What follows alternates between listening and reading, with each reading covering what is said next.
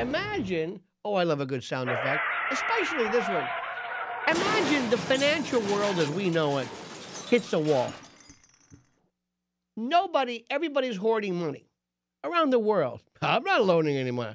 I'm taking all my money out and I'm just going to stick it in the mattress.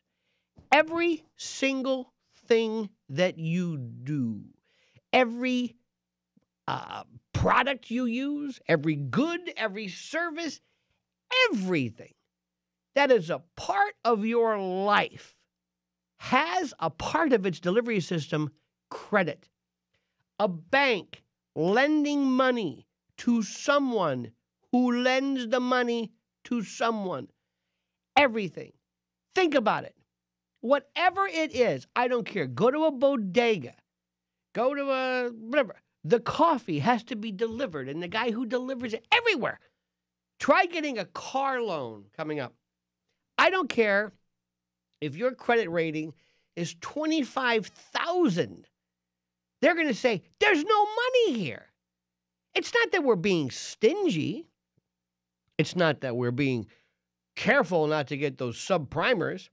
There's no money. Nobody's lending. How do you know your money's going to be in that bank? And by the way, when they say, "Well, it's um, it's guaranteed to up to two hundred and fifty thousand, what do you do when you find out there's no money? Why? I can't get the money because there's no money there. There's no credit. Nobody, and I don't mean credit card, and I don't mean when this was so funny. Uh, I mean, bless their hearts. I was, what was it? The New York Daily News or the Post or something said, "Well, you know what I like to do is I'm getting fewer haircuts." Hey, Cochise, listen to me carefully. Nice try. that's that's that's like saying, you know, when the Titanic's going down, I'm going to hold my nose. Good, go ahead. I'm going to put on a raincoat so that the water damage is I'm forestalling it. This is not about you tightening the belt, going out to dinner less. It's not. We're talking about the fundamentals. Think of this as the, the, the world financial system as a human body, and we're having organ failure. This is enormous. And there he was, Mr. Potter, Old Man River last night. What did, what did McCain say when he talks about this? He talked about energy independence. Let me repeat. He's talking about a financial collapse, a free fall, a disassembling of the world financial network, the interconnectivity, interstitial banking, whatever you want. Iceland.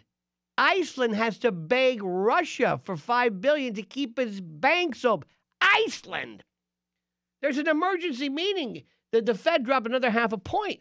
This is, and, and, and, and, and, and I know this stuff sounds, this is not the things you've heard before. You know, when you hear the financial stuff, I mean, I, God, you know, when you watch CNBC during the week when nothing bad's happening, it's like, okay, it's like watching a heart monitor, you know?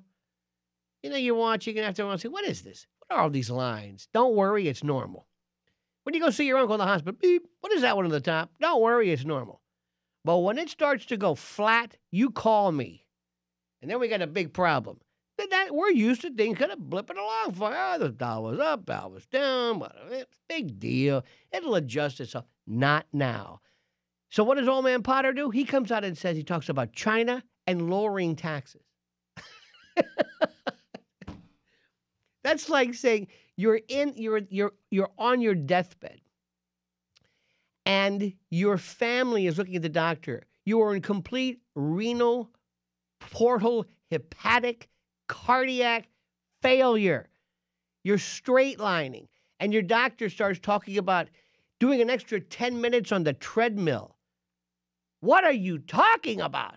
This is what it's all about. And meanwhile, in Florida, my native state, there's uh, Marcia Brady walking around talking about Bill Ayers.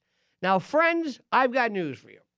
To my Republican and conservative pals out there, and I have a few, if you don't get it together now, if you think that with all that's going on right now, Bill Ayers and Reverend Wright and Barack Obama's funny last name are valid areas to discuss, you will never regain prominence again.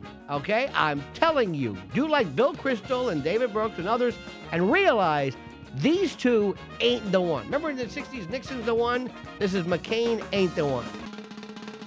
Nylon, nylon, nylon,